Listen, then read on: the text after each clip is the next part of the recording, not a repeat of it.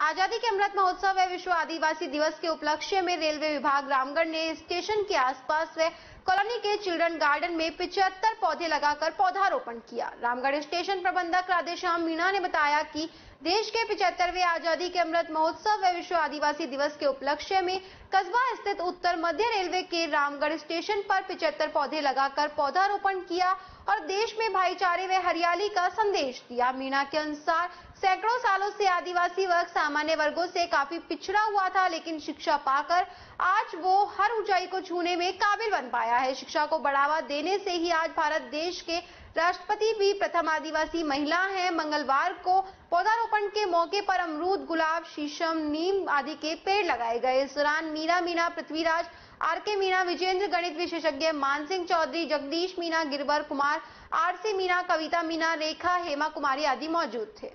राधेश्याम मीणा, आज विश्व आदिवासी दिवस के उपलक्ष्य में हम सभी स्टाफ द्वारा, कॉलोनी के बच्चों के द्वारा पिछहत्तर पेड़ पार्क में लगवाए और पिछहत्तरवीं और देश का अमृत महोत्सव।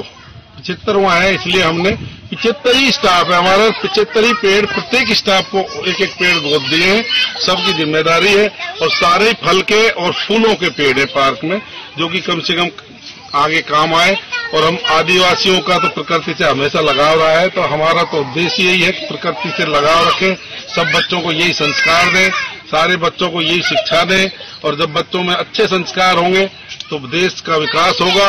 और एक आज हम कहाँ आदिवासी थे, जो आज एक शिक्षा की वजह से और एक एजुकेशन की वजह से आज हमारा महामहिम राष्ट्रपति भी आदिवासी जो हमारी सब देशवासियों ने, एक गवर्नमेंट पद पर हमारे एक आदिवासी, महिला, प्रथम आदिवासी महिला राष्ट्रपति जो चुना, इसके लिए मैं सभी देशवासियों का बहुत बहुत धन्यवाद।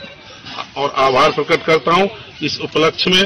आप सभी लोग, सभी स्टाफ के लोग इकट्ठे हुए और इससे समाज में अच्छी मैसेज जाए, इसी के लिए हम लोग